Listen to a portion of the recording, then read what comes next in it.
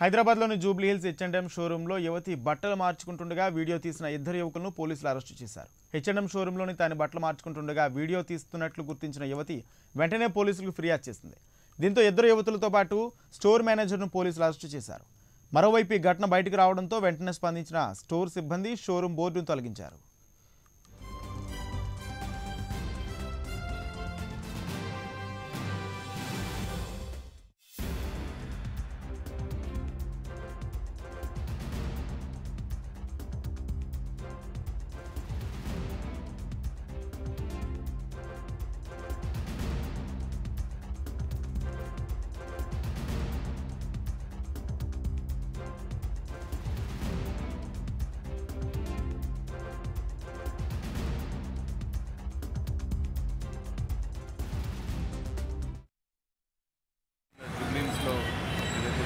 సంబంధించి ఒక కంప్లైంట్ రావడం దాంట్లో ఒక అక్యూజ్ కస్టమర్ లాగా వెళ్ళి లేడీస్ బస్ లేడీ రూమ్లో లేడీని వీడియోగ్రాఫ్ చేయడానికి ప్రయత్నం చేశారు.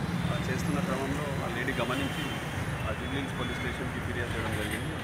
వెంటనే పోలీస్ స్టేషన్ సిబ్బంది అక్కడికి వెళ్ళి అక్కడ ఉన్న ఇద్దరిని కూడా అదుపులో తీసుకోవడం జరిగింది. దీంట్లో మేనేజ్మెంట్ వాళ్ళు కూడా నెగ్లెక్ట్ చేయడం వల్ల ఇటువంటిది జరిగిందన్నది వాళ్ళ మీద కూడా ఒక అలిగేషన్ ఉన్నది. అందుకనే వాళ్ళని కూడా బాధ్యత చేయడం జరిగింది. సో దీంట్లో ఆ ముగ్గురు ఎవరైతే ఉన్నారో వాళ్ళ మీద ముగ్గురు మీద చట్టపరంగా యాక్షన్ తీసుకోవడం జరిగింది. సార్ ఇప్పుడు ఆ పిల్లలకి ఇద్దరికి కూడా ఇలాంటి చరిత్ర ఏమైనా ఉందా? ఇదివరకు ఎవరైనా ఫిర్యాదులు ఇది వరకు అయితే ప్రస్తుతానికైతే లేదు. వాళ్ళ దగ్గర ఉన్నది ఇంకా వాళ్ళ దగ్గర ఉన్న